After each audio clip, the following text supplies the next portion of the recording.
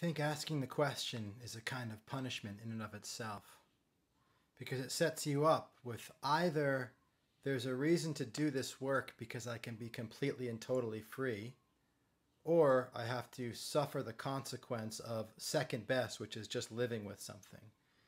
I mean, you can't possibly know what's going to happen. You could do all the work to get completely and totally free from it, and the day before you finish, you get hit by a bus and you die so you don't even get to reap the rewards of that supposed path.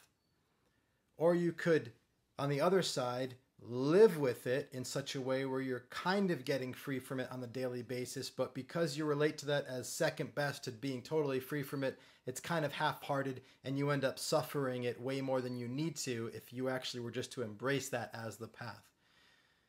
So let's just be open to I don't know.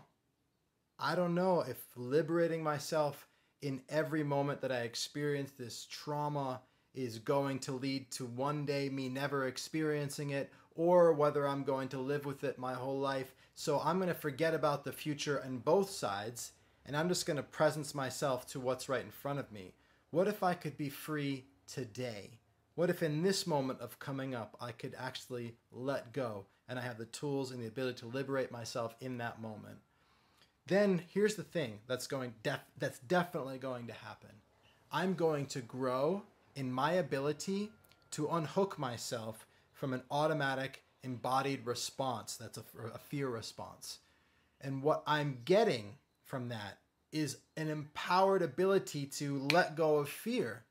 And whether I get free from that particular trauma at some point and it never comes up or not, it doesn't matter as much as the fact that I've developed in my ability to get free from trauma because guess what life is most likely to give us at certain points? More situations that are traumatizing more opportunities to be able to liberate ourselves. Like it's not like a one done and that's your life.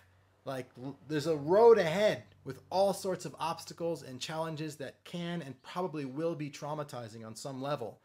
And to grow in your ability to meet those in a way where you can be free is probably in your best interest, probably in a greater interest than trying to be completely and totally free from something or just settling for the second best supposed option of being able to live with it. Let me put up with it, right?